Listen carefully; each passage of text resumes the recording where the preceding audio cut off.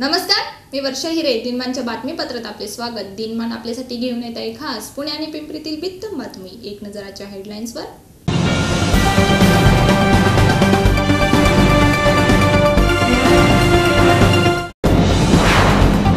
ट्रकचा धक्का लागून झेडबीचा कठडा पडला. मात्र सुदैवाने कुठलीही जीवितहानी नाही. पाण्याच्या प्रवाहात अडकलेल्या कुटुंबाची युवकाच्या मदतीने झाली सुटका. चिंचवडमधील श्री मोर्या गोसावी मंदिरात पाणी आणि मोबाईल ट्रकसह सोळा किलो गांजा जप्त. निगडी पोलिसांनी केली कारवाई. आणि आता पाहूयात सविस्तर वृत्त. डेक्कन जवळील प्रसिद्ध झेड ब्रिजचा कठडा मेट्रोचे काम सुरू असताना ट्रकचा धक्का लागून कोसळल्याची घटना शनिवारी मध्यरात्री घडली. सुदैवाने यात कोणत्याही प्रकारची जीवितहानी झालेली नाही पुण्यात झेड ब्रिज जवळ मेट्रोचे काम सुरू आहे. त्या त्या कामातच एक ट्रक रात्री ब्रिजच्या कठड्याजवळ धडकल्याने हा अपघात घडला आहे. परंतु घटनेची माहिती मिळताच नागरिकांमध्ये पावसामुळेच कठडा कोसळल्याची जोरदार चर्चा होती.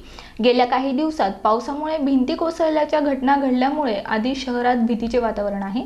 त्याच पार्श्वभूमीवर ही घटना घडल्यानंतर त्याच घटनाची पुनरावृत्ती डेक्कन जवळील झेड ब्रिज अपघातात झाल्याची शक्यता वर्तवण्यात येत आहे. तसेच या अपघातासंदर्भात पुणे महापालिका कर्मचारी आणि मेट्रो प्रशासनाशी संपर्क करून या दुर्घटनेबद्दल जाणून घेण्याचा प्रयत्न केला. मात्र त्यांच्याकडून देखील अधिक माहिती समोर आलेली नाही आहे परंतु स्थानिक नागरिकांनी दिलेल्या माहितीनुसार हा अपघात मेट्रोच्याच एका ट्रकच्या धडकेमुळे घडला आहे. लोणावळा येथे एक कुटुंब फिरायला आले असता भुशी डॅम धरणाच्या वाहत्या पाण्यात अडकले. पाण्याचा प्रवाह जास्त असल्याने मदतीला कोणीच येत नव्हते. तेवढ्यात एक पोलीस कर्मचाऱ्याने आणि युवकाने जीव धोक्यात घालून कुटुंबातील सदस्यांना वाचविले. लोणावळा येथे एक पर्यटक कुटुंब पाण्यात अडकले होते. तितक्यात पाण्याचा प्रवाह वाढला. हे कुटुंब मदतीची याचना करू लागलं पण कोणीही पुढे यायला तयार नव्हतं. यावर पोलीस आणि एक धाडशी तरुणाने शकल लढविली. धरणाच्या खाली बचाव पथक थांबविण्यात आलं. मग या सर्वांना पाण्यात उड्या घ्याव्या लागल्या आणि त्यांना खाली सुखरूप बाहेर काढण्यात आले. उमेश मराठे या धाडसी तरुणाने आणि पोलीस कर्मचारी मुंडे यांनी स्वतःचा जीव घालत कुटुंबियांना वाचविण्यात महत्त्वाची भूमिका बजावली. पुणे शहरासह मावळ भागात कोसळणाऱ्या मुसळधार पावसामुळे पवना नदीच्या पात्रात पाण्याची पातळी वाढली आहे. यामुळे चिंचवड भागातून जाणाऱ्या पवना नदीच्या पात्राचे पाणी चिंचवड गावातील मोर्या गोसावी मंदिरात शिरले. मंदिराचा संपूर्ण परिसर पाण्याखाली गेलाय नदीचे पाणी पाहण्यासाठी अनेक जण या भागात गर्दी करीत असून नदीकाठच्या सर्वच नागरिकांना सतर्कतेचा इशारा देण्यात आला आहे. याच भागातील केजूबाई मंदिर आणि रावेत बंधारा परिसर पाण्याने व्यापला आहे. सतत कोसळणाऱ्या पावसामुळे मावळ भागासह शहरातील सर्वच भागातील नद्यांच्या पाण्याच्या पातळीत वाढ झाली आहे. पालिका प्रशासनाने या नदीकाठच्या नागरिकांना सतर्क केले असून अनेकांनी सुरक्षित स्थळी व्यवस्था केली आहे. आज सकाळी चिंचवड गावातील श्री मोरिया गोसावी समाधी मंदिरात पवना नदीच्या पाण्याने वेढा घातला आहे. यामुळे मंदिर दर्शनासाठी बंद करण्यात आले आहे. निगडी पोलिसांनी केलेल्या वेगवेगळ्या कारवाईत बारा जणांना अटक केली असून त्यापैकी सहा जण अल्पवयीन आहेत. त्यांच्याकडून छत्तीस मोबाईल नऊ दुचाकी एक ट्रक आणि सोळा किलो गांजा निगडी पोलिसांनी हस्तगत केला आहे या सर्वांची किंमत तब्बल सोळा लाख रुपये आहे. आकुर्डी परिसरात निगडी पोलीस गस्त घालत असताना एका दुचाकीवरून जाणारा संशयित तीन जणांना पकडले. त्यांच्याकडे दोन चाकू आढळले असून अभिषेक विशालसह एका अल्पवयीनला त्यावेळी ताब्यात घेण्यात आले. त्यांच्याकडे सखल चौकशी केली असता त्यांनी निगडी बोसरी चिखली चिंचवड काळेवाडी परिसरात चोरी केल्याची कबुली दिली आहे. त्यांच्याकडून अठ्ठावीस मोबाईल दोन दुचाकी आणि एक कोयता हस्तगत करण्यात आला. तर दुसऱ्या कारवाईत मोहम्मद खलील शेख याने निगडी पोलिसात मोबाईल चोरी गेल्याची तक्रार नोंदविली होती त्याचा तपास घेऊन अजय साबळे निगडी पोलिसांनी अटक करून चौकशी केली असता त्याच्यासह दोन अल्पवयीन साथीदारांना ताब्यात घेतले तसंच त्याच्याकडून आठ मोबाईल हस्तगत करण्यात आले. तिहेरी घटनेत तीन अल्पवयीन मुलांकडून सहा दुचाकी जप्त करण्यात आल्या. चौथ्या कारवाईत ट्रक चोरी करणाऱ्या विजय आणि सोमनाथ या आरोपींना निगडी पोलिसांनी अटक केली. तर पाचव्या कामगिरीत निगडी पोलीस ठाण्याच्या हद्दीत एक व्यक्ती हा ओटा स्कीम येथे गांजा विक्रीसाठी येणार असल्याची गुप्त माहिती पोलीस कर्मचारी किशोर पेंडारे आणि विलास केकान यांना मिळाली. त्यानुसार संबंधित ठिकाणी सापळा रचून पासवान याला ताब्यात घेण्यात आले. त्याच्याकडून सोळा किलो गांजा पोलिसांनी हस्तगत केलाय. गुन्ह्यांचा आढावा घेतला असता संमिश्र वस्ती आहे. त्यामध्ये प्राधिकरण ओटास्की मेमननगर यासारखी संमिश्र लोकवस्ती असल्यामुळे गुन्ह्यांचं प्रमाण जास्त आहे. मोबाईल स्नॅचिंग त्याचप्रमाणे तीनशे ब्याण्णव जबरी चोऱ्या आणि वाहन चोरी. यामध्ये आमचं जे अँटी गुंडा स्क्वॉड पथक आहे माननीय पोलीस आयुक्त साहेब यांनी नाकाबंदी अँटी गुंडा स्क्वॉडची सात ते बारा जी प्रत्येक पोलीस ठाण्याच्या हातीत लावण्यात आली आहे. त्या अनुषंगाने त्यांच्या मार्गदर्शनाखाली क्राईम पोलीस निरीक्षक श्रीयुत निकाळजे आणि आमचे डी बीचे पथक हे रावेत ब्रिजजवळ नाकाबंदी करत असताना आम्हाला दोन संशयित इसम मोटरसायकलवर जाताना मिळून आले. त्यांचा पाठलाग करून त्यांना त्याच वेळी ताब्यात घेतलं. त्यावेळेस त्यांच्याकडे तीन ते चार संशयित मोबाईल आणि कमरेला सूर्य होते. त्याची जी गँग शोधल्यानंतर त्या गँगमध्ये दोन प्रौढ आणि चार अल्पवयीन मुलांचा समावेश होता. ते जे मेट्रोचं काम चाललेलं आहे आपल्या पिंपरी चिंचवड परिसरात पिंपरीमध्ये मेट्रोच्या कामाच्या ब्रिजच्या पिलरच्या पोकळीत लपले होते आणि तिथेच राहायचे ते. घरी राहत नव्हते. तिथून त्यांना शितापीने ताब्यात घेतलं आणि त्यांच्याकडून एकूण आतापर्यंत पंधरा गुन्हे उघडकीस आणलेले आहेत आणि त्यामध्ये सुमारे पंधरा लाख पंच्याण्णव हजार चारशे साठ रुपयाचा मुद्देमाल जप्त केलेला आहे. आणि ह्या महिन्याभरात तीन तडीपार जे की पुन्हा पिंपरी चिंचवड आयुक्तालयाच्या हद्दीत वार होते त्यांना अटक करून त्यांच्यावर एकशे बेचाळीस प्रमाणे कारवाई करण्यात आली आहे. वाहतूक कोंडी ही पुणेकरांच्या नशिबी कायम असते. तर पुणेकरांना शिस्त लागावी म्हणून वाहतूक यंत्रणेकडून शक्य ते प्रयत्न केले जातात. आणि त्यात सिग्नल बंद झाले की मात्र वाहतूक पोलिसांना आपले कर्तव्य पूर्ण करण्यासाठी कसरत करावी लागते. ते कसे? पाहूयात. गेल्या अनेक दिवसांपासून विश्रांती घेतलेल्या पावसाने दमदार हजेरी काल पुणे शहरात लावली आणि या सुरू असलेल्या पावसामुळे मात्र शहरातील सर्व सिग्नल बंद झाले आणि पुणेकरांना पुन्हा एकदा वाहतूक कोंडीचा सामना करावा लागला. तर पुणे शहर वाहतूक पोलिसांनी मात्र या तारेवरची कसरत होत असल्याची पाहायला मिळाली. कुठतरी शॉर्ट सर्किट किंवा काय पॉवर हाऊस कट झालेला असेल. त्यामुळे एम एस बी बोर्ड आहे ना प्रत्येक सीझनला किंवा रेनी सीझनमध्ये लाइट घालवत असतो. जेणेकरून आम्ही तुमच्याकडे काय घडू नये. त्याच्यासाठी लाइट गेलेली असतो म्हणून आम्ही खात्री केली असतात मेन पॉवरवरनं लाइट त्यांनी घालवलेली आहे असं त्यांनी सांगितलेलं आहे. आता ती लाइट आली दहा मिनटात येतो म्हणून असं कळवलेलं होतं. परत ती आता दहा मिनटात लाइट आलेली आहे. सिग्नल चालू झालेले आहे. आता सदरची लाइट ही शिवाजीनगर डिव्हिजनवरून आलेली आहे. असं पॉवर हाऊसवरून आलेली आहे असं त्यांनी कळवलेलं आहे.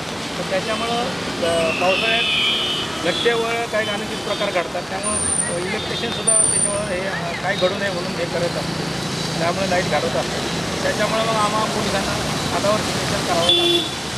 बातमीपत्रात वेळ झाली एका छोट्याशा ब्रेकची मात्र तुम्ही पाहत राहा दिनमान न्यूज स्मार्ट सिटीत प्रत्येकजण झालाय स्मार्ट. प्रत्येक गोष्टीत प्रत्येकाला हवाय स्मार्टनेस. होय हीच बाब लक्षात घेत आम्हीही झालोय स्मार्ट. प्रत्येक बातमी देतोय निर्भीडपणे तेही स्मार्ट वेळ म्हणूनच तर सोशल मीडियावर गाठलाय तीस लाखांपेक्षा जास्त व्ह्युअर्सचा पल्ला. तोही स्मार्ट पुणेकरांचा प्रत्येक बातमीत मिळेल एक अचूकता आणि सत्यता. म्हणूनच सोशल मीडियावर जिंकतोय हजारो लोकांची म्हणे प्रत्येक बातमीच ठरते प्रभावशाली. म्हणूनच होते ती फॉरवर्ड आणि सुपरफास्ट असाच करणार प्रवास प्रत्येक क्षेत्रात तुमच्या साथीने. पाहत रहा दिनमान न्यूज एक निर्भीड व्यासपीठ. पुणे ग्रामीण परिसरात देखील पावसाचा जोर वाढलाय ज्यामुळे खेडमधील सांगुर्डे गावात इंद्रायणी नदीचे पाणी शिरले आहे. जोरदार झालेल्या पावसामुळे इंद्रायणी नदी खळखळून वाहत आहे. सांगुर्डे गावाच्या परिसरात पाणी घुसल्याने नागरिक त्रस्त झाले आहेत. मात्र प्रशासनाकडून कोणतीही अद्याप मदत मिळाली नसल्याने नागरिकांमध्ये आक्रोश दिसत आहे. जोरदार झालेल्या पावसामुळे इंद्रायणी नदीला महापूर आल्याची परिस्थिती निर्माण झाली आहे. अनेक भागात नदीतले पाणी गावात शिरले आहे. त्यामुळे नागरिकांना अनेक अडचणींना सामोरे जावे लागत आहे. सांगुर्डे हे गाव पूरग्रस्त असल्याचं चित्र बघावयास मिळत आहे. प्रशासनाकडून तात्काळ मदत मिळावी अशी मागणी येथील नागरिक करीत आहेत. पाण्याचं पुलाचं काम जे झालेलं ते सगळं अर्धवट आहे. आणि त्या पाण्यामध्येच मी सध्या आता उभा आहे. तर हे दोन कोलमचं काम झालंच पाहिजे. तरी आम्ही काम करून देणार आहे नाही तर करून देऊ शकत नाही. सांगुर्डे गाव खेळ तालुक्यातील पूरग्रस्त गाव म्हणून या गावाची ओळख आहे. हे क्षेत्र देऊपासून हे गाव सुमारे दीड किलोमीटर असे दूर आहे. तरी गावात दरवर्षी पावसाळ्यामध्ये पू- पूर परिस्थिती निर्माण होत असते. तरी या पूर परिस्थितीतून बाहेर निघण्यासाठी सार्वजनिक बांधकाम विभागाने हा समोरचा आपण पूल पाहताय. या पुलाचे प्रस्ताव आणि पुलाचे बांधकाम चालू केले होते. पण गेली पाच वर्ष झाले तो पूल अर्धवट अवस्थेत आहे.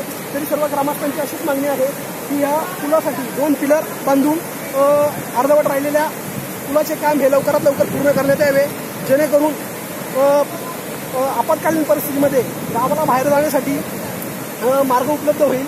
मुसळधार पावसाने लोणावळा शहराला अक्षरशः झोडपून काढले आहे. मागील चोवीस तासात शहरात तब्बल तीनशे पंच्याहत्तर मिलीमीटर पाऊस झाला असून यापैकी तीनशे मिलीमीटर पाऊस हा शुक्रवारी रात्री ते शनिवारीच्या पहाटे दरम्यान पडला आहे. जोरदार पावसामुळे भुशीडाम पर्यटकांना जाण्यास सक्त मनाई करण्यात आली. आहे मुसळधार पावसाने शहरात सर्वत्र पाणीच पाणी झाले असून जनजीवन विस्कळीत झाले आहे. नांगरगाव भांगरवाडी तुरणाली भागातील काही सोसायट्यांना पाण्याचा विखळा पडला आहे. इंद्रायणी नदीला पूर आल्याने कारला आणि मळवळी भागातील अनेक सोसायट्यांना पुराचा विखळा पडला आहे. सांगीशे आणि नाणे पूल पाण्याखाली गेल्याने अनेक गावांचा संपर्क तुटला असून सर्वत्र पूरसदृश्य स्थिती असून पाण्याची संततधार कायम असल्याने नागरिकांनी कामाशिवाय घराबाहेर पडू नका असे आवाहन प्रशासनाच्या वतीने करण्यात आले आहे. भुशी धरणाच्या सांडव्यावरून प्रचंड वेगाने पाणी वाहत असल्याने धरणाच्या पायऱ्यावर जाणे धोकेदायक आहे. शुक्रवारी पायऱ्यांवर अडकलेल्या सहा पर्यटकांनी दुकानदारांनी त्या सहा पर्यटकांना स्वतःचा जीव धोक्यात घालून वाचविले. लोणावळ्यात येणाऱ्या पर्यटकांनी या धोकीची नोंद घेत धरणाच्या पायऱ्यांवर जाणे टाळावे असे आवाहनही करण्यात आले आहे. ऑलिम्पिक स्पर्धेत प्रत्येक स्पर्धकाला मोठ्या प्रमाणावर तणावाला सामोरे जावे लागत आहे. अशा तणावातून खेळाडूला बाहेर पडण्यासाठी प्रत्यक्ष खेळ खेळलेल्या आणि मनोसोपचार तज्ज्ञ अशा प्रशिक्षकाच्या मार्गदर्शनाची गरज आहे. मात्र आपल्या देशात नेमबाजी खेळलेल्या मानसोपचार तज्ज्ञ नाहीत अशी खंत नेमबाज राही सरनोबत हिने व्यक्त केली आहे. पुणे श्रमिक पत्रकार संघाच्या वतीनं राही सरनोबतशी वार्तालाप या कार्यक्रमाचे आयोजन करण्यात आले होते. त्यावेळी ती म्हणाली की ऑलिम्पिकमध्ये जाणे वेगळाच अनुभव असतो. सध्या मी सकाळी साडेसात ते सहा सायंकाळी सहा वाजेपर्यंत सराव करीत आहे. यंदा या स्पर्धेत निश्चित यश मिळेल असा विश्वासही तिने व्यक्त केला. तसेच टोकियो ऑलिम्पिक स्पर्धा माझ्यासाठी खूप महत्त्वाची आहे. यासाठी मी पंधरा नोव्हेंबर दोन हजार सतरापासून तयारीला सुरुवात केली आहे. आता ही तयारी अंतिम टप्प्यात आली आहे. सध्या मी जर्मनीच्या मुखाम बायबर दुरसेन्सेन यांच्याकडून नेमबाजीचे प्रशिक्षण घेत असल्याचं तिने सांगितलं. यावेळी पत्रकार संघाचे अध्यक्ष प्रसाद कुलकर्णी उपस्थित होते. कुठलाही खेळ जेव्हा प्रोफेशनली खेळला जातो व्यावसायिकदृष्ट्या खेळला जातो तेव्हा संपूर्ण दिवस खेळाडू त्याच्यातच असतो हा तर मला वाटतं फार बेसिक नियम आहे म्हणा किंवा फार बेसिक रुटीन आहे. आणि ह्याच्यामध्ये सुद्धा बऱ्याच खेळाडूंचं शेड्यूल वेगवेगळं पण असतं. पण जेव्हा आमचा कॅम्प असतो पूर्ण टीमचा तेव्हा आमचं शेड्यूल सकाळी साधारण साडेसात ते संध्याकाळी सहा असं असतं. आणि त्याच्या व्यतिरिक्त सुद्धा आम्ही काय काय खेळाडू जे आहोत सकाळी पाच वाजता उठून आम्ही योगा वगैरे करून साडेसातला आम्ही रेंजवर असतो. त्यानंतर मला वाटतं साडेसात ते बारा पहिलं सेशन असतं आमचं. बारा ते दीड आम्हाला सुट्टी असते. आणि दोन ते पाच आमचं आफ्टरनून सेशन असतं. आणि त्यानंतर पुन्हा जिम असते. तर एवढा वेळ आम्ही शूटिंग करतो. आणि बाकीचा वेळ फिजिकल ट्रेनिंग आणि सायकोलॉजिकल ट्रेनिंग जे आहे ते शक्यतो शूटिंगच्या कोच सोबतच शूटर्स करतात. शूटिंगला सायकोलॉजिस्ट अजून तेवढे शूटर्सना पटण्यासारखे पुणे शहराला पाणी पुरवठा करणाऱ्या चार प्रमुख धरण क्षेत्रात दिवसभर दमदार पावसाने हजेरी लावली. त्यामुळे धरणामधील पाणीसाठ्यात दोन टक्क्यांनी वाढ होऊन पाणीसाठा चोपन्न टक्क्यावर पोहोचलेला आहे. दीर्घ कालावधीनंतर दमदार पावसाने पुनरागमन केल्याने पाणीसाठा पंधरा पूर्णांक एकोणचाळीस अब्ज घनफूट एवढा झाला आहे. शहराला पाणीपुरवठा करणाऱ्या टेमघर वरसगाव पाणशेत आणि खडकवासला या चारही धरणाच्या परिसरात गेल्या दोन आठवड्यांपासून पावसाने विश्रांती घेतली होती. परिणामी शंभर टक्के भरलेल्या खडकवासल्याला धरणातील पाणीसाठा त्रेपन्न टक्क्यापर्यंत आला आहे. मात्र गुरुवारी रात्रीपासूनच धरणाच्या परिसरात पावसाने जोरदार हजेरी लावली. गुरुवारी रात्री आणि शुक्रवारी दिवसभर झालेल्या पावसामुळे धरणामधील पाणीसाठ्यात वाढ झाली आहे. पुणे ग्रामीण परिसरात देखील पावसाचा जोर वाढलाय ज्यामुळे तीर्थक्षेत्र देहू गावात इंद्रायणी नदीचे पाणी शिरले आहे. जोरदार झालेल्या पावसामुळे इंद्रायणी नदी खळखळून वाहत आहे.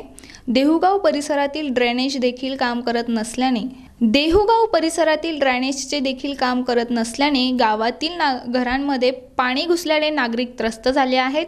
मात्र प्रशासनाकडून कोणतीही मदत अद्याप मिळाली नसल्याने नागरिकांमध्ये आक्रोश दिसत आहे. पुन्हा एक नजर आजच्या हेडलाईन्सवर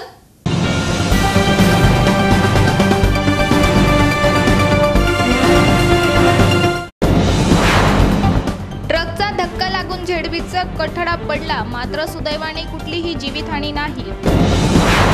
पाण्याच्या प्रवाहात अडकलेल्या कुटुंबाची युवकाच्या मदतीने झाली सुटका. चिंचवडमधील श्री मोर्या गोसावी मंदिरात पाणी. आणि मोबाईल ट्रकसह सोळा किलो गांजा जप्त निगडी पोलिसांनी केली कारवाई. आणि आता बातमीपत्रात वेळ झाली इथेच सामन्याची मात्र ताज्या घडामोडींसाठी तुम्ही पाहत राहा दिनमान न्यूज एक निर्भीड व्यासपीठ. नमस्कार.